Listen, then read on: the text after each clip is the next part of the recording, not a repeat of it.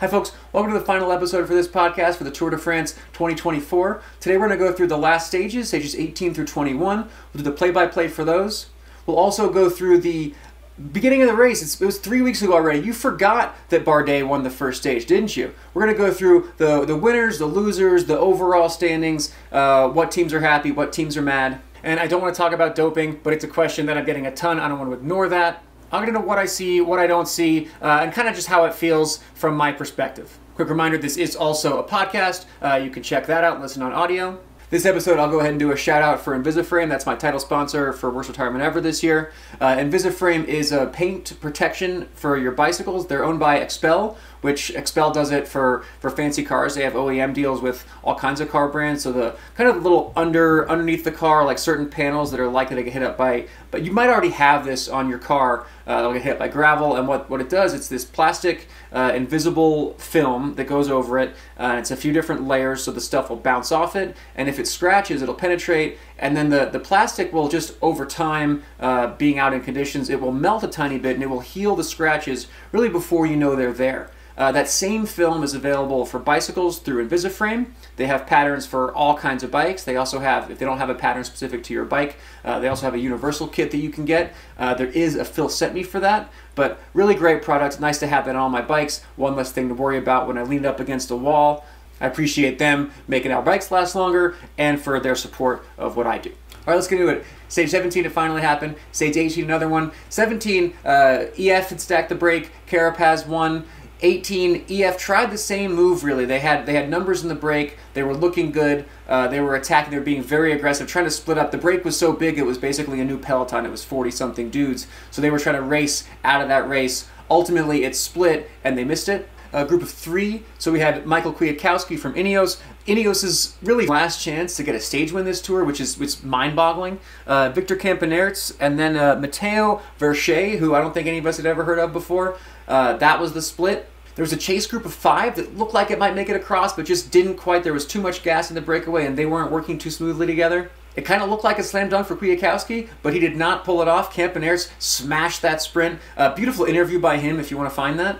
You can always tell it's a good guy when his teammates are at the the podium celebration, kind of clapping for him, and they all like they could all be in the bus taking a shower, but those guys were stoked for their boy. So it was Vercher from Total Energies was second, and Kwiatkowski third. Uh, fourth place, Tom Skujiņš lit up the chase group for five. Uh, big miss by Trek, not having him get across to that. Super bummer for them. Really, the big loser was Ineos on that one. Uh, Kwiatkowski kind of just botched the sprint, unlike him. Okay, stage 19 is where it started to get a little bit awkward. There was a break, it had three and a half minutes. The field kept it close. Uh, it didn't look that close, but it was always too close for a tough finale. They never had a chance. They just never had a chance. It looked like it might be a nail biter, but in reality, it was, if you knew what you were looking at, it was a slow motion train wreck. Uh, Matteo Jorgenson had an incredible attack at the very bottom of this final climb. Uh, just dropped a bunch of hitters in the breakaway, and it's like, oh, Matteo's going to go in solo for a finish.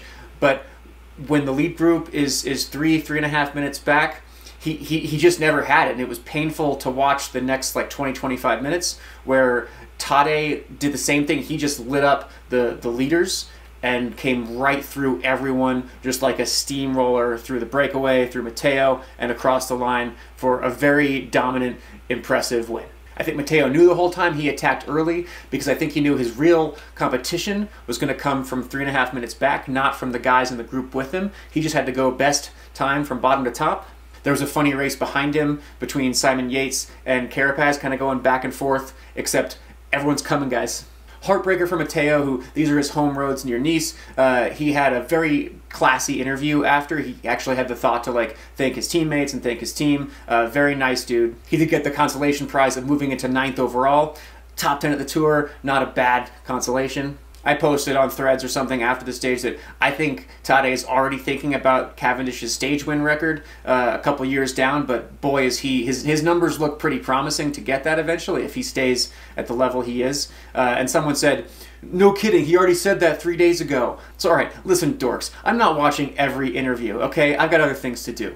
Also notable from that stage, uh, Remco went for it against Vingegaard again. He was trying to creep away some time. He's still looking at second overall. And Jonas slapped him down. Jonas was like, no, man, I, you know, I had my moments here and there. But uh, Jonas came in a very solid second and put that situation to rest. I think the rest of us knew it a couple weeks ago, but this was the day that Jonas finally accepted, like, I did not win the tour. Uh, camera up in his face while he's crying on his wife's shoulder at the finish. But the story of the day, of course, was how fast Tadej was, how dominant he was. This was the performance that put it over the line for some folks of, this is unbelievable, we don't believe in this guy anymore. Apparently, Lance Armstrong on his podcast said that Tadej, yo man, you're making it too obvious that you're doping today. Uh, and he's like, yeah, I would know, man, I would know.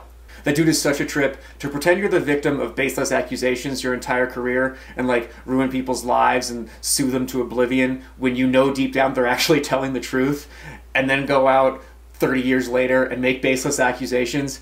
It's wild the whole thing where the conversation is like, what do you think this guy's on? What do you think that guy's on? Like that goes directly back to Lance. That's when I got my tattoo. People keep doing these climb comparisons. They're looking at the climbs from Pantani and Lance and Ullrich and all those guys. And of course, Tadej smashed a ton of those this year. And you look at that, it's like, oh, well, that's a bad sign. But then look at this is 25, 30 years ago for a lot of those. Think about if you went to ride Pantani's bike right now up a hill, you'd be like, ew like everything has progressed. All sports progress, uh, technology has progressed, aerodynamics, equipment, and then you get into like nutrition and training. Uh, every sport is going to get faster over time. Cycling from a, a certain era was going to regress a little bit and then progress uh, over time. But then you look at those climb comparisons, and it's kind of fun. I like looking at it too, but they leave out so many variables, such as you know, was it week one or week three of the race? Was it a mountaintop finish or was the group just sort of cruising? So the race conditions and then, you know, weather, air pressure, all this stuff uh, really can affect the overall time up even a kind of steep climb. And then throw in the 25, 30 years aspect. And I'm sorry, those numbers are just straight up meaningless. The thing that I saw on that stage, which is the same that we saw with, with Vingegaard in the time trial last year, in my opinion, is that whoever's the best overall is going to really stamp that they're the best when everyone else is finally fatigued when we get towards the end of it, we get in the meat of it, and here's a day where they're good and nobody else is. Am I saying Tadej is clean? No, I don't know that guy. But I see a lot of comments like, man, don't be naive, everyone's doing it. No, they're not. That is absolutely not true. I know a lot of guys in the Peloton still. I'm very close friends with a handful that I'm cut my hand off if so and so is dirty. And these are guys who, you know, I'm not I'm not best friends with anyone on the podium, but I'm super tight with people who are very high up, who have gotten significant results this year, whose names have been mentioned uh, in these events, who I trust thoroughly. So is everyone doing it? No, even back then that wasn't the case. The problem is that the people who were doing it, if the drugs work, they go right to the top and then they get the voice. They get to tell you, like, oh, everyone was doing it. And they say that to make themselves feel better, but it was never true.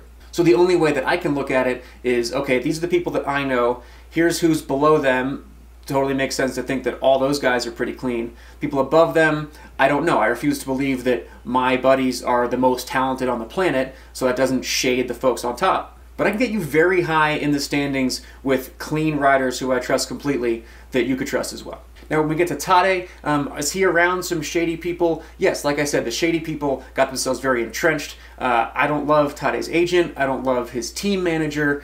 Uh, Slovenia has a fair bit. There's a case, it wasn't that long ago, of a doctor who was uh, a number of cyclists and skiers, and he was talking about how all the drugs glow through Slovenia because the you know the government's lax and there's there's handoffs and the, the money. A lot of the stuff went through Slovenia.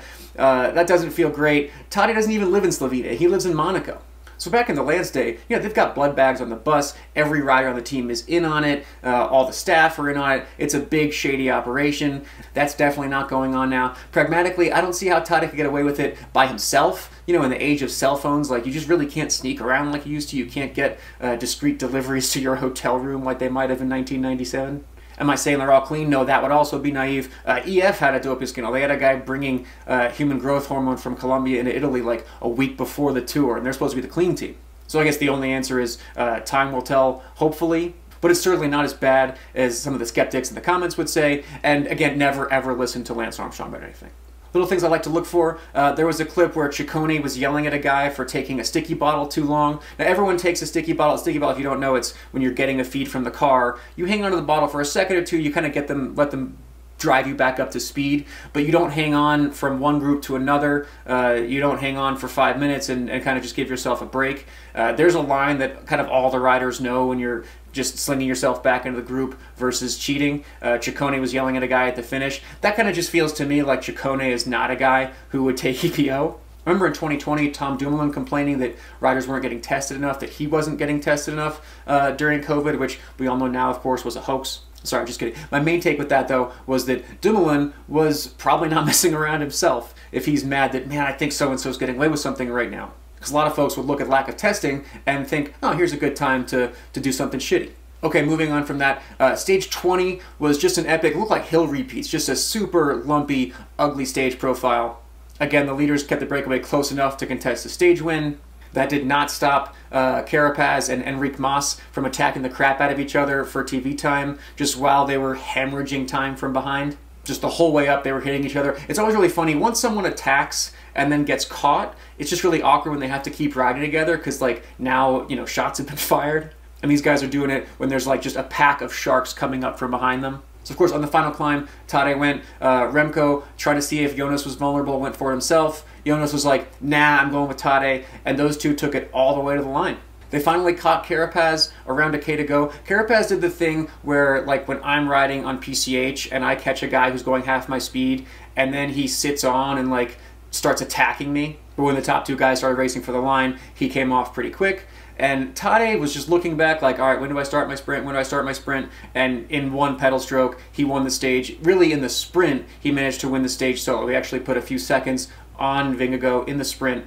He was the only one in the photo. I think that's his fifth stage win of this tour. Sorry, Cav. It kind of felt like Tadej raced that mercifully, not attacking even earlier. So Tadej goes into the final time trial with a five minute lead. That brings us to the time trial. Uh, armchair race organizer having a TT the last day is, you know, from a Fignon LeMond perspective, it could be awesome, but most likely that's going to backfire into an absolute snooze. Time trials are historically a snooze anyway for almost everyone participating. Like, I did not need to see, uh, no offense, I don't need to see Girmay riding his TT bike super slow uphill. We had Cavendish crossing up, posting, you know, good for him, post up, cross the line, but it's just really funny when it happens in the Darth Vader helmet. TT helmets were always funky and dorky, but they've managed to get worse this year specifically. And that's the photo for Cav's finale at the tour.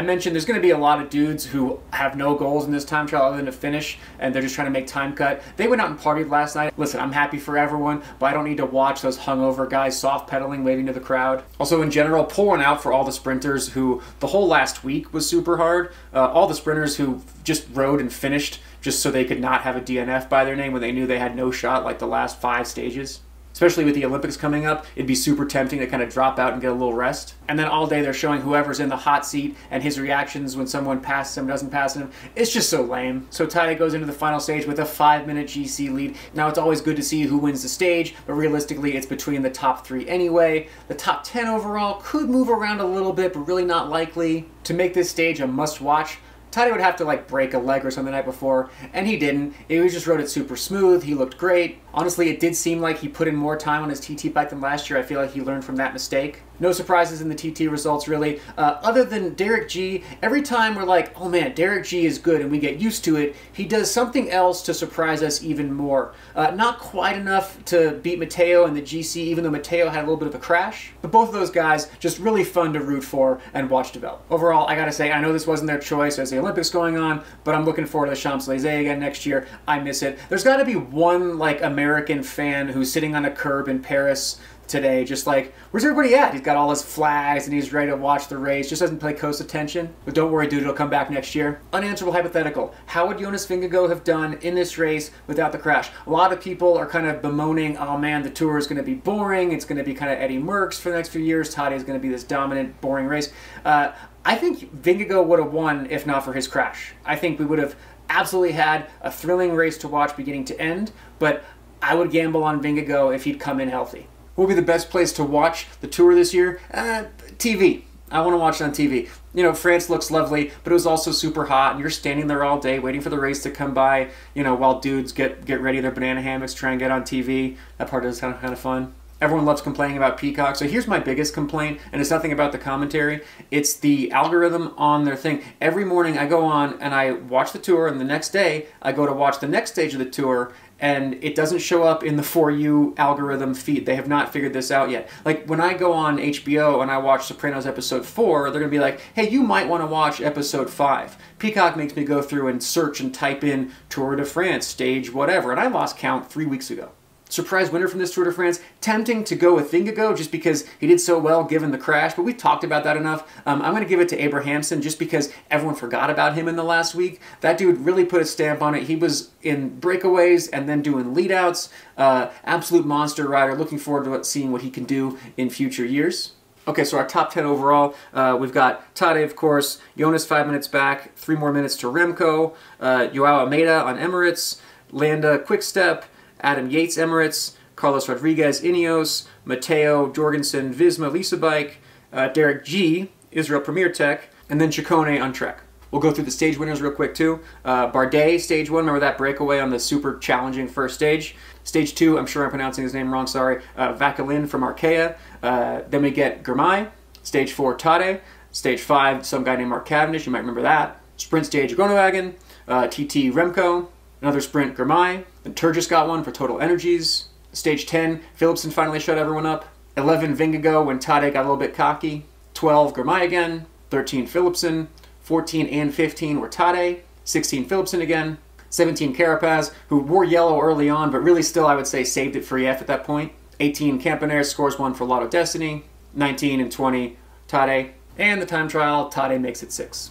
All right, so teams, who's happy, who's sad? You know, what's invisible here when you're looking at how the teams do is that the top teams have four times the budget of some of the teams we're talking about here. So I think they're realistic about their goals. They don't want to come out with nothing. They want to get some TV time and get some results, but they're happy with what they get. I'm going to factor in team budgets here and those expectations along with it. Emirates, of course, they're happy. Uh, Visma can't be too mad. They were going for the win, but two guys in the top 10 in the stage is pretty good. Wout Van Aert probably a little salty he didn't get his.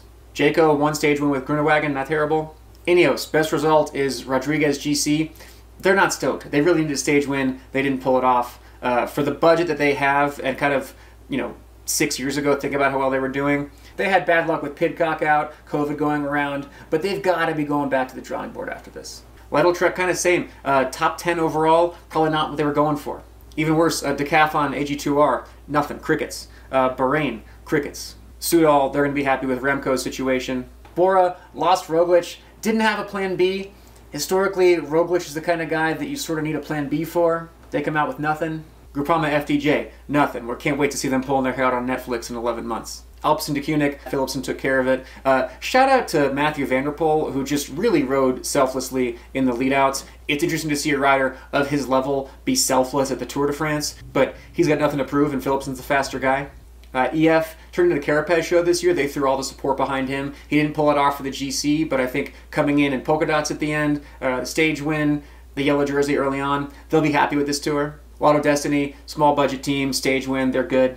Israel Premier Tech came in with a stage hunting crew and ended up, oh, actually, Derek Gee, top 10, we'll take it. Cofidis, I forgot they were in the race. Bad times. Movistar, Mas kind of up there going for the stage win a couple times, but didn't pull it off, nothing for them. Arkea, stage two, they'll take it. Intermarché, of course, they're happy with Girmay Green Jersey stages. DSM, it feels like a year ago now, but the Bardet 1 2 first stage, they're good. Astana, they came in full commitment to Cavendish's record, and uh, they got it. Cool.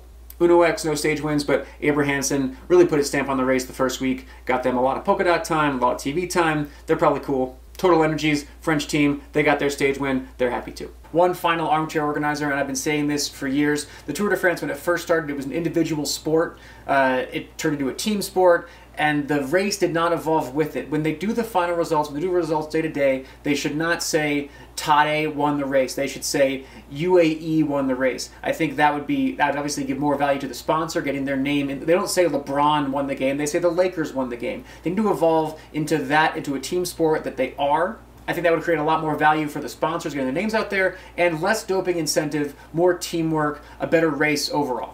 This will likely never happen, but I have to get it off my chest once in a while. Okay, that is it for me and this Tour de France. Uh, thank you all for watching. Check out Invisiframe and all my other sponsors. Don't forget to go outside and ride your bikes as well. See ya.